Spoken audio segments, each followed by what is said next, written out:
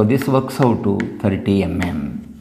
Finally, in these butt joints, apart from these pitches diameter, you will have to find out what is the size of this cover plate H1 and H2. So in a butt joint which is made using two cover plates of equal width, in the tabular column you find this value as H1 that is the thickness of the less wide uh, cover plate is equal to H2. Both will have the same width that is given as 0.625 times H where H is the thickness of the plates to be riveted. So 625 multiplied by 10 mm that is given in the question and hence this works out to 6.25 millimeter.